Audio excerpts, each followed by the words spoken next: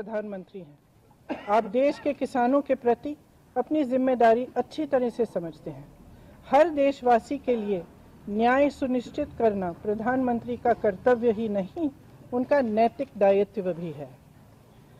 कल देशवासियों को संबोधित करते हुए आपने कहा कि सच्चे मन और पवित्र हृदय से किसानों के हित को देखते हुए कृषि कानूनों को वापस लेने का अभूतपूर्व निर्णय लिया गया है। आपने यह भी कहा कि देश के किसानों के प्रति आप नेक नियत रखते हैं। यदि ये सत्य है तो लखीमपुर किसान नरसंहार मामले में पीड़ितों को न्याय दिलवाना भी आपके लिए सर्वोपरि होना चाहिए। लेकिन केंद्र गृह राज्य मंत्री श्री अजय मिश्रा टेनी अभी में अपने पद पर बने रहे हैं।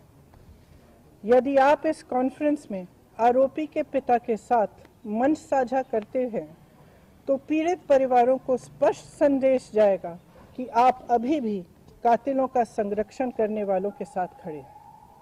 यह किसान सत्याग्रह में शहीद 700 से अधिक किसानों का घोर अपमान होगा।